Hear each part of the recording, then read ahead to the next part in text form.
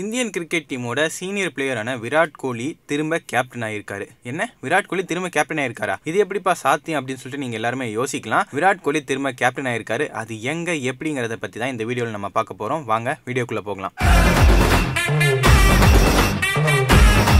Indian cricket டீமோட player Virat Kohli இந்த world கப்பில் ரொம்ப சூப்பராக விளையாடிக்கிட்டு இருக்காரு அவர் இதுக்கு முன்னாடி கேப்டனாக இருந்த இந்தியன் கிரிக்கெட் டீமுக்கு நிறைய வெற்றிகளை வந்து குவிச்சிட்டு இருந்தாரு. பட் அன்பார்ச்சுனேட்லி அவரால் ஒரு ஐசிசி ட்ரோஃபியை வந்து வின் பண்ண முடியல கேப்டனாக இருந்து. அப்படி இருந்தாலும் ஒரு பிளேயரை வந்து பார்த்தோன்னா அவர் இந்தியன் கிரிக்கெட் டீமுக்கு ஐசிசி ட்ரோஃபிஸை வின் பண்ணி கொடுத்துருக்காரு. இப்போ இந்த வேர்ல்ட் கப்லையும் அவர் அதை திரும்ப செய்வார் அப்படின்னு சொல்லிட்டு நிறைய பேர் எதிர்பார்த்துக்கிட்டு இருக்கோம். இந்த ஒரு நிலைமையில இந்த ஒரு நேரத்தில் கிரிக்கெட் ஆஸ்திரேலியா இந்த வேர்ல்ட் கப்கான டீமை பிக் பண்ணியிருக்காங்க. அதாவது இப்போ வேர்ல்ட் கப் வந்து பார்த்தோன்னா அந்த குவாலிஃபயர் மேட்சஸ் எல்லாமே முடிஞ்சு இப்போ எல்லா டீமும் வந்து பார்த்தோன்னா நாக் அவுட் மேட்சஸ்க்குள்ள போயிட்டாங்க. ஸோ இந்த லீக் மேட்சஸ் முடிஞ்ச வரைக்கும் எந்தெந்த டீம் எப்படி பர்ஃபார்ம் பண்ணியிருக்காங்க எந்தெந்த பிளேயர்லாம் பர்ஃபார்ம் பண்ணியிருப்பாங்க அப்படிங்கிற மாதிரி அனலைஸ் பண்ணுவாங்க. அப்படி அவங்க அனலைஸ் பண்ணி இந்த வேர்ல்ட் கப்க்கான ஒரு டீமை பிக் பண்ணியிருக்காங்க அந்த டீமில் விராட் கோலியை பிக் பண்ணது மட்டும் இல்லாமல் அவரை கேப்டனாகவும் அப்பாயிண்ட் பண்ணியிருக்காங்க ஓகேங்க அந்த டீமில் யார் யார் இருக்கா அப்படின்னு சொல்லிட்டு நம்ம தெரிஞ்சுக்க வேணாமா? அந்த டீமில் டிகாக் இருக்காரு வார்னர் இருக்காரு இவங்க ரெண்டு பேரும் ஓப்பனராக பிக் பண்ணியிருக்காங்க இவங்க ரெண்டு பேரும் இந்த வேர்ல்ட் கப்பில் ரொம்பவும் நல்லா பர்ஃபார்ம் பண்ணாங்க. அன்ஃபார்ச்சுனேட்லி இவங்க ரோஹித் சர்மாவை பிக் பண்ணல. அவர் இந்த வேர்ல்ட் கப்பில் ரொம்ப நல்லா பர்ஃபார்ம் பண்ணியிருக்காரு அவருடைய அந்த அக்ரஷன் அப்ரோச் தான் இந்தியன் கிரிக்கெட் டீம் இந்த வேர்ல்ட் கப்ல நல்லா பர்ஃபார்ம் பண்றதுக்கான ஒரு ரீசனாகவும் இருக்கு. அப்படி இருந்தும் அவங்க ரோஹித் சர்மாவை பிக் பண்ணல.